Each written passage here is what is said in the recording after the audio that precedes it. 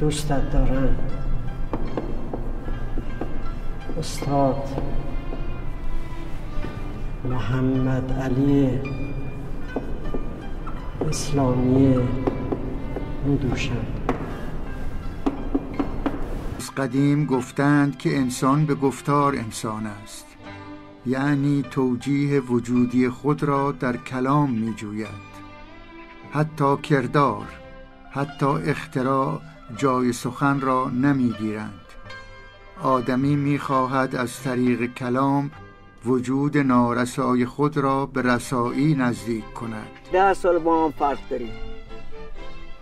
اون سنه چهار بوده من سنه 1304 نوشته داریم از آقای استاد محمد علی فرمان دبیر ادبیات من در دبیرستان که بودم میبردمش کتاب خونه یه بابا. ازش پرسم چه کتابی می‌خونی؟ گفت که من کتاب ورد ترشا کار گوته را هفت بار خوندم.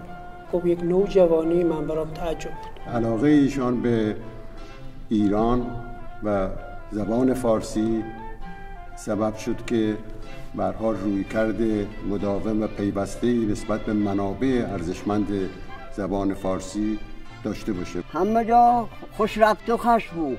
بر مردم خیلی خوب بود. من معتقدم دکتر اسلامی یکی از بزرگترین خدماتی که به این ناحیه کرده به مردمانی کرده که پسوند ندوشن دارن با خودشون اینه که این نام را نام ندوشن را در سراسر ایران و بلکه جهان هم میشه گفت به نوعی گردانده.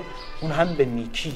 گر میوه از باغ زمان بگرفتم تا زن نبری که رایگان بگرفتم یک عمر عزیز در ازایش دادم این دادم و آن جان جهان بگرفتم.